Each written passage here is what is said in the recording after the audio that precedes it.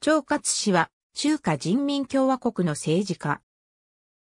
紀州省省長、委員会書記、河北省委員会書記、公安部長、党委員会書記を歴任した。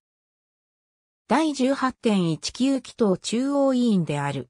1953年12月28日、山東省第二市市に誕生する。1973年3月から1975年3月、山東省第二試験夏学総校舎三宅城中学の民、教師。1975年3月から1976年10月、山東省第二試験農業学大祭の工作隊隊員、夏角、商工社団位副書記。1976年10月から1980年1月、山東省第二試験夏角、商工社党委上位、京山校舎党委上位、宣伝委員。1980年1月から1982年9月、共生団山東省、来日県委副書記。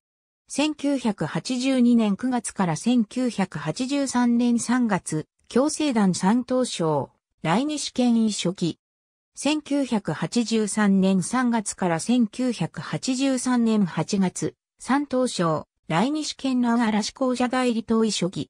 1983年8月から1984年4月、山東省、来日県水州鎮東医書記。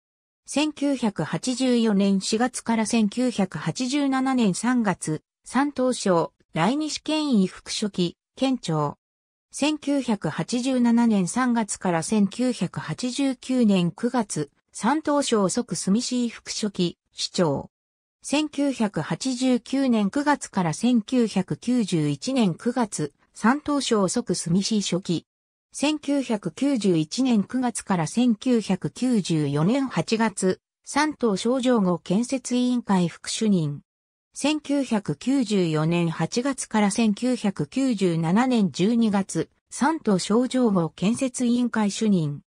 1995年9月から1996年7月、中京中央高校1年生中青年幹部、土川君班に入学。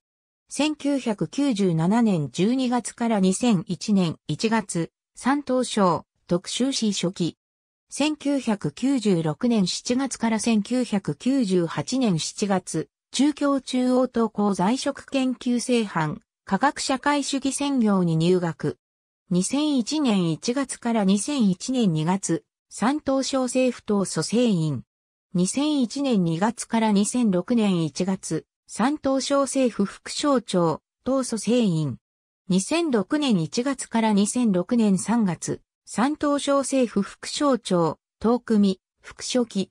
2006年3月から2006年4月、チャンス省以上位。2006年4月から2010年8月、チャンス省以上位、省政府副省庁、党組、副書記。2010年8月から2010年9月、奇襲省委副書記、大省庁。2010年9月から2012年7月、奇襲省委副書記、省庁。2012年7月から2012年12月、奇襲省委書記、省庁。2012年12月から2013年1月、奇襲省委書記。2013年1月から2015年7月、奇襲省委書記、精進大上位会主任。